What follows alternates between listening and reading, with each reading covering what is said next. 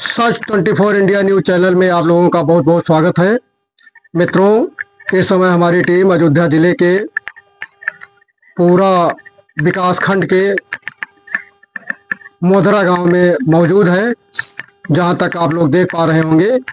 ये है मनोज कुमार यादव का घर, जहाँ इनकी, इनके भैंस को प्रसव हुआ है और एक ऐसे अजूबे बच्चे ने यहाँ पर जन्म दिया है, जिसे देखने के लिए पूरे गाँव वालों की भीड़ यहाँ एक एक करके जमा हो रही है।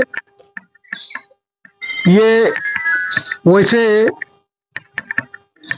जुड़वा बच्चे या चार बच्चे चार पैर वाले बच्चे या छह पैर वाले बच्चे तो अक्सर देखे व सुने जा सकते हैं, लेकिन आठ पैर वाले बच्चे बहुत ही कम देखने व सुनने को मिलते हैं। यहाँ पर देखिए मनोज कुमार यादव की भैंस ने आठ पैर वाले बच्चे को जन्म दिया है। देखिए, जहाँ तक आप लोग देख पा रहे होंगे, देखिए, यहाँ दिखाइए भाई।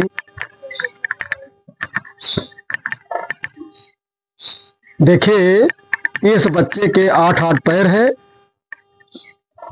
लेकिन संजोग कहें या खुदा की देन कि ये बच्चा आठ आठ पैर होने के बाद भी ना तो खड़ा हो सकता है, ना खुद अपने पैरों के बल पे ये चल सकता है। इसको अलग से दूध पिलाया जा रहा है। ये बच्चा अभी बीती रात तीन बजे पशु चिकित्सक डॉक्टर राम किशोर यादव, जो कि इस एरिया में काफ़ी फ़ेमस है, इनके देख रेख में अथक प्रयास के बाद, क्योंकि ये बच्चा बहुत बड़ा था, और प्रसव कराने में बहुत दिक्कत हो रही थी, बावजूद इसके इन्होंने अथक प्रयास के बाद इस बच्चे को का प्रसव कराया। आज ये बच्चा एकदम स्वस्थ है, चल फिर तो नहीं सकता, लेकिन इसको कई बार दूध भी पिलाया गया, जिससे लगता ये है कि ये बच्चा चल फिर तो नहीं पाएगा, लेकिन अगर इसको खिलाया पिलाया गया तो ये बच्चा जीवित रहेगा। हाँ ये अभी हम आपको डॉक्टर राम किशोर जी से बात कराते हैं और जानते हैं इस बच्चे के बारे में क्या वैज्ञानिक कारण है कि कोई जैविक कारण है। ये बच्चा, इस बच्चे को आठ आठ पैर कैसे हुआ? हाँ डॉक्टर साहब सच twenty four India news channel में आपका बहुत बहुत स्वागत है। धन्यवाद आपको भी।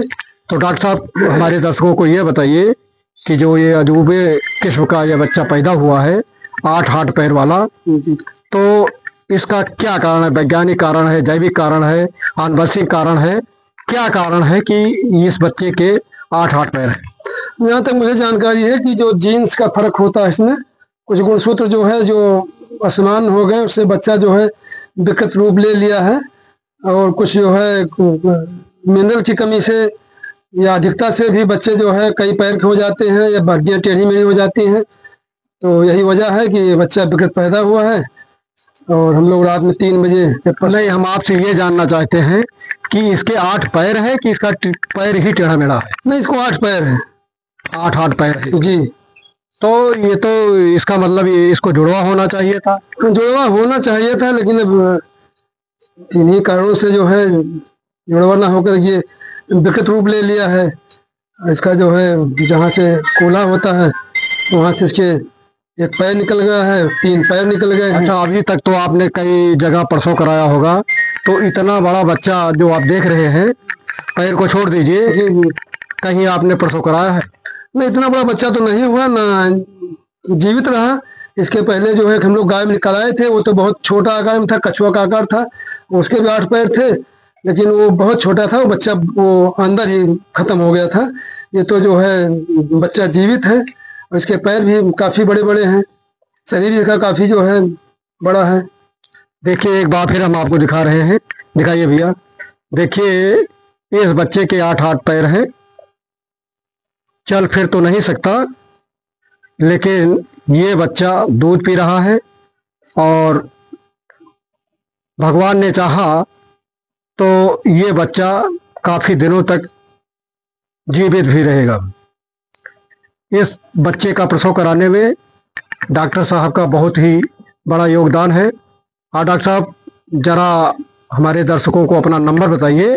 अगर आपसे संपर्क करना चाहते हैं, अयोध्या ज़िले के जो हमारे अयोध्या ज़िले के दर्शक देख रहे हैं, बाहर तो नहीं जा पाएँगे, लेकिन अयोध्या ज़िले के दर्शक जो हैं, वो चाहें तो डॉक्टर साहब संपर्क कर सकते हैं। नंबर है निन्यानवे पैंतीस, सत्तावन, उनहत्तर, चौंतीस।